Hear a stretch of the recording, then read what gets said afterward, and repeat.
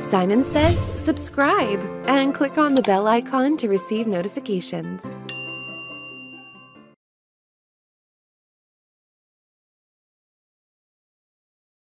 In this lesson, we're going to discuss the Magic Wand tool. The Magic Wand tool allows us to have certain types of automatic selections. So for example, I have all of these colors blue here, and I like to select all of the objects that are blue on here. But it might be that I have this black stroke that I want to select, and I want to select all the objects that have a black stroke. So if you think about an illustration you may have, you may have that people are all wearing the same color uniform that you've drawn, and you want to change that color uniform from black to white. You can very easily do that by selecting all of those objects. So let's go over here to our magic wand tool and you can see it's going to tell us what it's going to do. You can see the keyboard shortcut, everything like that, nice little graphic visualization of what it does.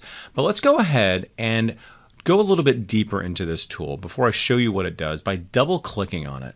Now this is a very important and very unique nuance to Illustrator that many of these icons, many of these tools have the ability to double click on them to see extra options available to you. Now I just double clicked on the icon and now this just appeared.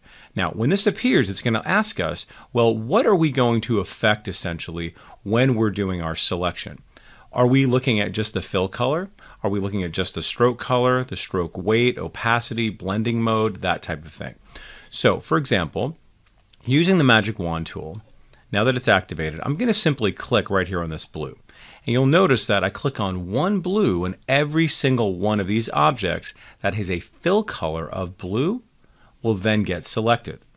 Now you'll notice that there's also a tolerance level. Well, let's just say, for example, I have a slightly darker blue or a slightly lighter color blue. Depending on the tolerance I've chosen, it's going to select those. So the higher tolerance, the more sort of open it's going to be to say, hey, listen, you're kind of blue, I'll go and add that. If you lower that down, there's going to be less of a chance that you're going to get it selected. So depending on what you have that selected as, you have kind of different gradations of a blue, you might want to just adjust your tolerance.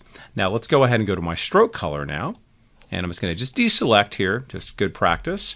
And I have my stroke color, and this time I'm going to choose all of the whites. So I go over to here, go to my magic wand tool, and I'm going to simply just click here. And you'll notice that I selected on the object. Now I didn't select directly on the stroke color, right? But you'll see that as a result, it actually just did the red and the white, the red and the white. It did all of those, but it didn't do the red and the black. It didn't do the blue and the white. Okay, so very important there. So I'm going to go ahead and deselect. Okay, but this time what I'm going to do is I'm going to deselect fill color. So therefore, only objects that have a certain stroke color will then get affected. So let's go ahead and now do the white again. I'm going to click on this. And now you'll notice that every single object that has a white stroke color now gets selected. Earlier, I had both of these selected. So therefore, it was like, okay, well, both of these things have to exist in order for that object to then be selected. Okay, so just keeping that in mind how that works. So let's go ahead and just try one more. I'm going to go ahead now and just deselect this one here, go to my stroke weight, and you'll see now it says, okay, well, we have kind of a tolerance of five points okay, as opposed to this other unit of measure of tolerance, which is no points or pixels. It's just basically sort of a percentage. You're going to see here is a point. So I'm going to go ahead and just deselect now, come back to my magic wand tool, and let's just bring this down a little bit. And I'll just bring this down to, let's just say two. All right, very good. Now it's only about the stroke weight, and I only want ones that are going to have that level of stroke. So notice I'm only getting the ones that have a very thin stroke there. So they really are giving you a lot of choices to work with here in terms of our fill color, our stroke color, and our stroke weight.